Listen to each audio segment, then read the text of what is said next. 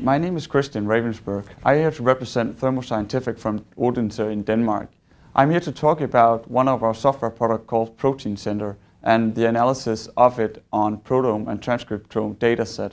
So one of the challenges in today's proteomics is the ability to actually compare and analyze proteome dataset.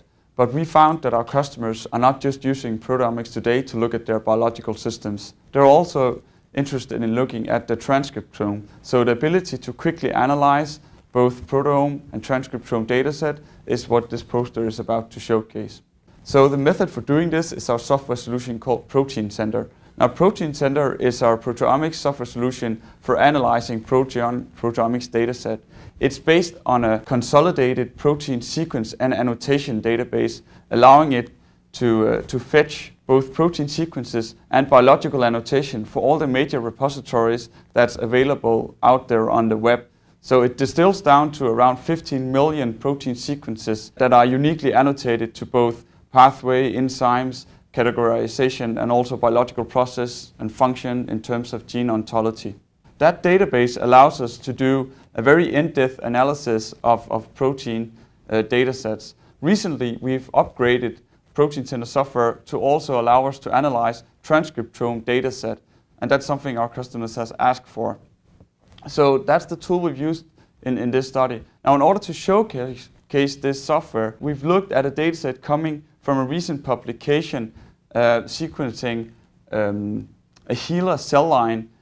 The aim of the paper was to showcase that, that you can actually characterize a full proteome of a HeLa cell line. Now, in the experiment that we used here, they characterized over 11,000 proteins. Now, interestingly enough, they didn't just use proteomics, they also used transcriptomics to characterize the transcriptome at the same time. And that's what we'll go through in this poster here.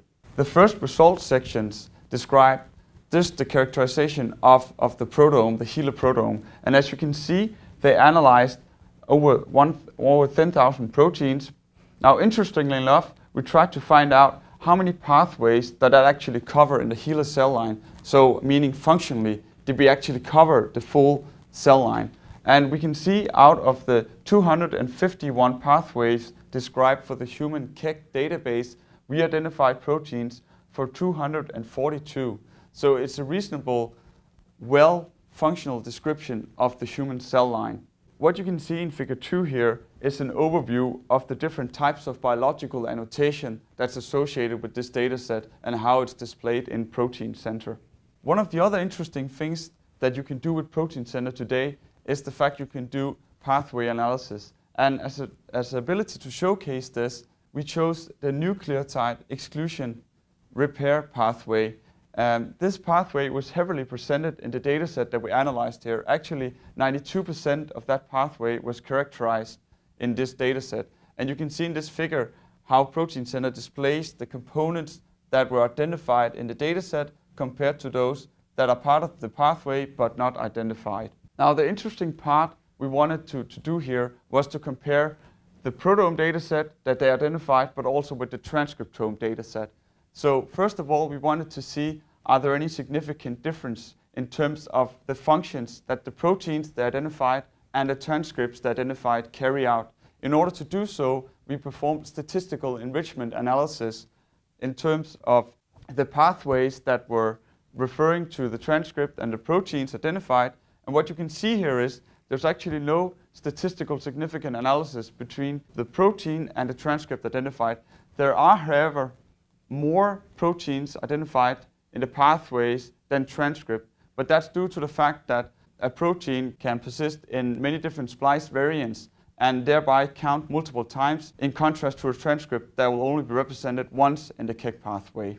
Next, we set up to, to look at was the lower bounding proteins in order to showcase how Protein Center can be used to identify whether there is a functional bias in the actual data set. So what we did here is out of the 10,000 proteins, uh, the scientists that published the dataset we used to analyze in Protein Center, they also uh, characterized the absolute abundance of the proteins. So we picked out the 100 lowest abundant proteins from this data set, and we set out to find out are there any, any functional discrepancy amongst those compared to the whole human proteome.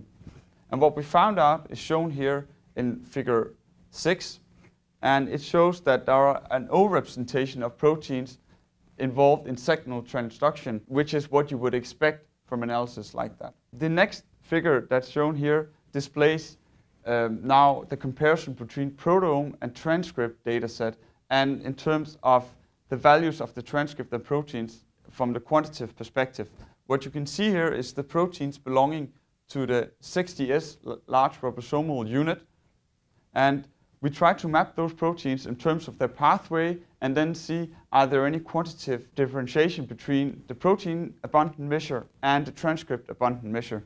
And the values are actually displayed in, in the heat map shown here on figure 7.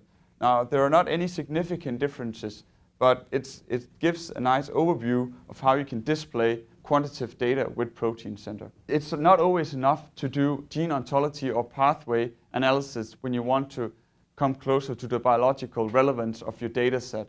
Not all biological systems are well described today. So a new feature that we've included in Protein Center is the ability to do what you could call protein-protein interaction analysis.